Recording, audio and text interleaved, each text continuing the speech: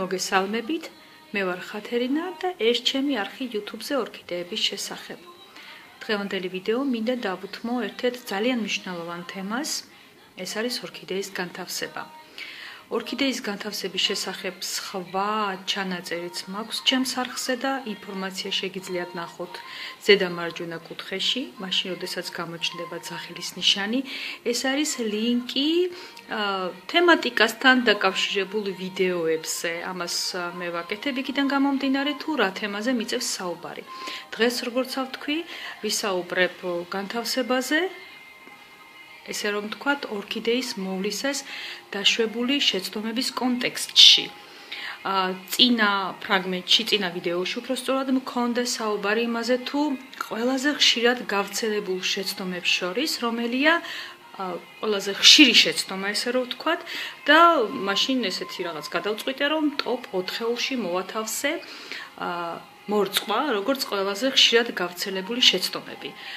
მეორე ადგილზე მინდა დავასახელო ორქიდეის განთავსება. და რატომ? როგორ გითხრათ, ორქიდეა ძალიან მშვენიერი მცენარეა და როდესაც მას ვიძენთ, გვაქვს დიდი სურვილი, რომ მოვიტანოთ და განვათავსოთ ყველაზე გამოსაჩენ ადგილზე. და ახლა მე თქვენ გაჩვენებთ, ეს არის ჩემი მისაღები ოთახი, სადაც ორქიდეა დავდე იასამანთან ერთად. ეს უბრალოდ კონტრასტი რო შემექმნა იმისათვის. ძალიან ხშირად მოყარულები ან უბრალოდ ადამიანები, ვისაც ყვავილები უყვარს, ასე იქცევიან, მოიტანენ და დადებენ ყველაზე გამოსაჩენ ადგილზე. მაგრამ რა შეასაქმე? ორქიდეას სჭირდება ინტენსიური სინათლე. მე არ დავიწყებ ახლა აქ სპეციალური სამეცნიერო ტერმინოლოგიით საუბარს, უნდა ინტენსიური სინათლე და არა პირდაპირ მზის სხივები, ამაზე ჩვენ ვისაუბრებთ დღეს დეტალურად და მიუხედავად იმისა, რომ ჩემი მისაღები ოთახი საკმაოდ ნათელია, მინდა ვთქვა, რომ ორქიდეას ეს სინათლე რა თქმა უნდა არ ყოფნის. მაგრამ რა მოხდება თუ მე ორქიდეას დავტოვებ აქ? დამიჯერეთ. გაცილებით უფრო დიდხანს იყვავილებს ვიდრე ეს იასამანი.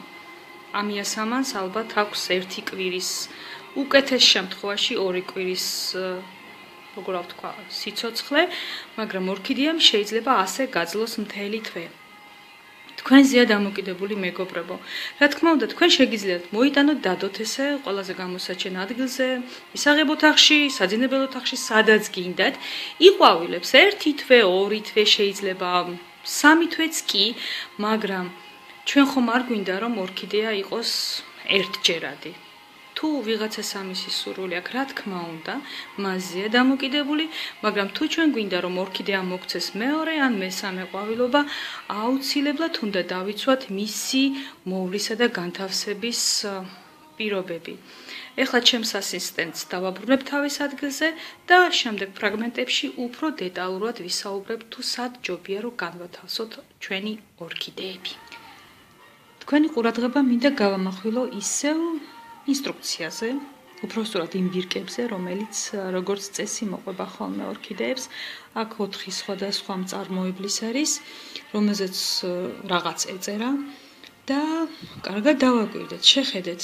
სამ მათგანზე, პირველ ადგილზე ხატია მზე და სამკუთხედში ძახილის ნიშანი. აქ ოდნავ განსხვავებული სიმბოლო, აი ეს სადაც მზე ხატია, მაგრამ შუაზე გაყოფილი, შავი და თეთრი ნახევარსფერო. აა რას ნიშნავს ეს ყველაფერი? ეს არის ნიშანი იმისა, რომ ორქიდეას სჭირდება ნათელი ადგილი, მაგრამ არა პირდაპირ მზის სხივები. ასევე მინდა გავამახვილოთ თქვენი ყურადღება ამ სიმბოლოზე. თერმომეტრი სამმადგან სახატია და სამივე საწერია დიაპაზონი 25 გრადუსი, ზემოთ და ქვემოთ 15 გრადუსი. ეს რას ნიშნავს, რომ ორქიდეისათვის მისაღები ტემპერატურის ზღვარი არის 15 გრადუსიდან 25 გრადუსამდე. ანუ არც უნდა შესცივდეს და ბუნებრივია არ უნდა დასცხეს. ესე იგი, სად განვათავსოთ ჩვენი ორქიდეა? გამოდის რომ პირდაპირ მზის სხივები სახიფათოა, მაგრამ გჭირდება ნათელი ადგილი. სახლის პირობებში ნათელი ადგილი არის ფანჯის რაფა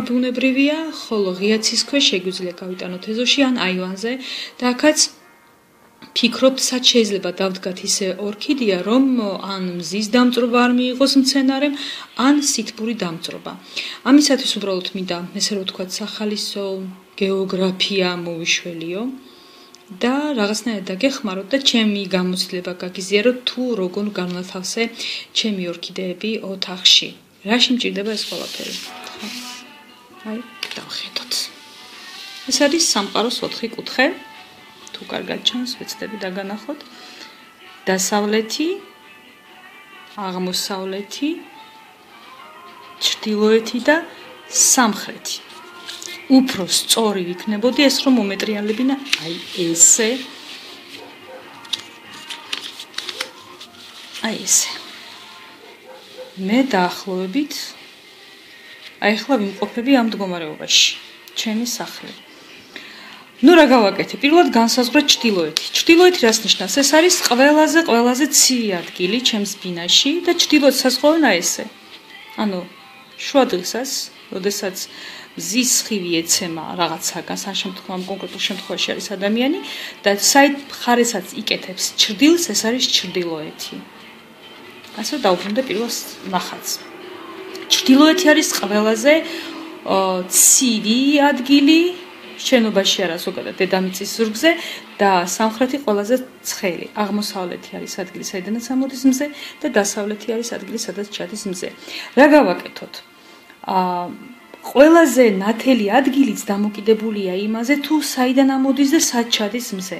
მე უბრალოდ ახლა მინდა გითხრათ, რეალურად მე სად ვიმყოფები? ჩემს ფანჯარას აღმოსავლეთის მზე არ ადგება. ადგება მზე. აი ესე, აი დაახლოებით აქ ვიმყოფები აი ამ დიაპაზონში ამ დიაპაზონში რატო ხაზავ ამ ყველაფერს მეგობრებო ძალიან კარგია ამბობენ რომ ძალიან კარგია. თუ მცენარეს ხვდება ამომავალი მზე აი ეს მზე იმიტომ ეს არ არის ინტენსიური მზე, ინტენსიური სინათლე. ну, რა თქმა უნდა, ჯობია რომ დავიცვათ ყვავილები პირდაპირ მზის სხივების ზემოქმედებისაგან, მაგრამ ესე გამიგონია, მე არ ვიცი, დამიკომენტარე თუ ვინმე აქვს გამოცდილება აღმოსავლეთ ფანჯარაზე, ან აღმოსავლეთ ნაწილ ეზოს აღმოსავლეთ ნაწილში ორქიდეის გათავსების. ჩემთვის ეს ძალიან მნიშვნელოვანია და საინტერესო. რა საჭირო ამ ყოლაფეს რო ვიცახით?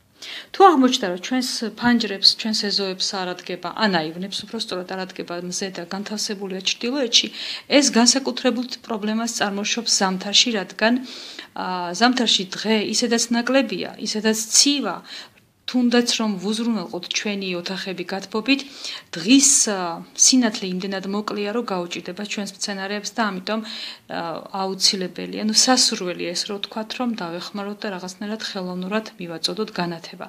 რაც შეეხება სამხრეთ ნაწილს, აქ პირიქით ძალიან ცხელა. ზაფხულში განსაკუთრებით და საქართველოსში განსაკუთრებით, მე როგორც ვთქვი, ეს ჩემი ფანჯარა ბინარის აი ამ დიაპაზონში და მინდა გითხრათ რომ სამწუხაროდ ზაფხულის პირობებში ტემპერატურა გაცილებით უფრო მაღალია და არის საკმაოდ ესეთი ინტენსიური მზის სხივები. როგორც თქვი, აი ამ ნაწილში მზე საერთოდ არ ადგება, ეს არის პრობლემა და განსაკუთრებით ზამთარში, იმიტომ რომ ხელოვნური განათება დაგჭირდება, ხოლო რაც შეეხება აი ამ ადგილას, აქ არის უკვე ტემპერატურული რეჟიმის დარღვევის საკმაოდ მაღალი რისკი. ჩვენ შეგვიძლია განვათავსოთ ორქიდეა ფანჯრის რაფაზე, მაგრამ ფრთხილად უნდა ვიყოთ, იმიტომ რომ კი ვგონია რომ ზე ადგება და ეს არ არის პირდაპირ ზის სხივი, მაგრამ შუშას აქვს რაღაცნაირ ლინზის ეფექტი და უფრო ინტენსიურად დაჭერს მცენარის ფოთლებს და უფრო მაღალი ალბათობით შეიძლება გააფუჭოს. ამიტომ ჩვენ შეგვიძლია რაღაცნაირად გამოვიყენოთ დასაბური მასალა ან ჟალუზი და ისე განვათავსოთ ორქიდეები ფანჯრის რაფაზე, მაგრამ ამ შემთხვევაშიც კი ვერაფერს ვერ უშვებით მაღალ ტემპერატურას განსაკუთრებით საფხულობით. ამიტომ რაღაცნაირად ოთახში მოგვიწევს ხოლმე ყველაზე შემწყნარებლური ადგილის ძებნა და მე ცოტა შორს მაქვს ფანჯიდან გათავსებული აი ამ დიაპაზონში როგორც ვთქვი აი ამ დიაპაზონში დაახლოებით. როგორც იქნა მოუძებნე ჩემს ორქიდეებს ადგილი. ფანჯარასთან ძალიან ახლოს მაგრამ არა ფანჯრის რაფაზე რადგან აქ მზის სხივები ხვდება ხოლმე და პლუს ამას არის ორპირი. ეს არის ჩემი ორქიდეების სტელაში მაგრამ ეს საკმარისი არ არის.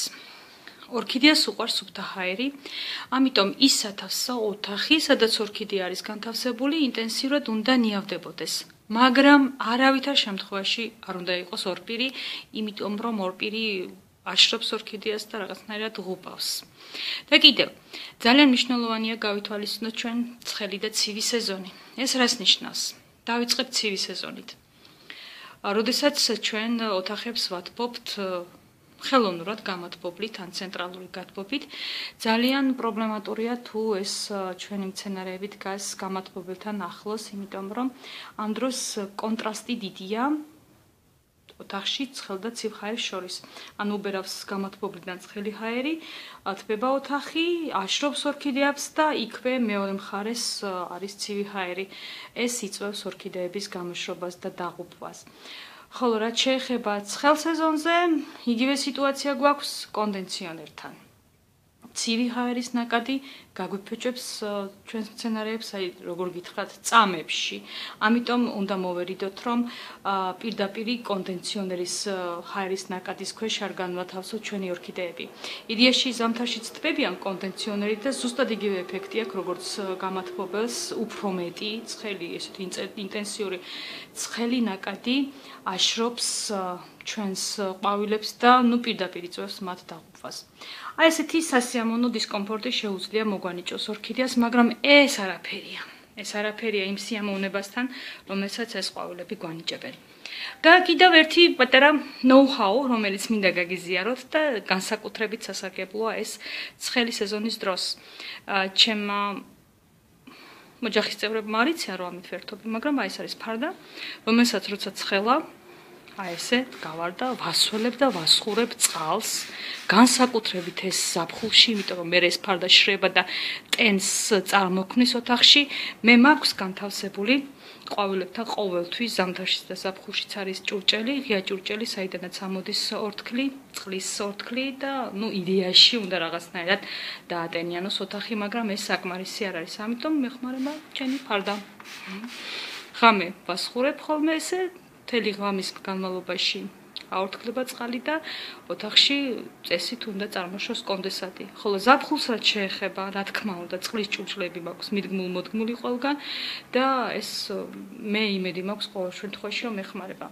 ამიტომ ჩემოკარგებო, თუ გადაწყვეტეთ რომ შეეჭიდოთ ორქიდეებს, უნდა გახსოვდეს რომ ორქიდეა უნდა განვათავსოთ სპეციალურ ადგილას, ხო, იასამანს, აი ესე, ყოფა ოთახის ყველაზე გამოჩენილი თვალსაჩინო ადგილი.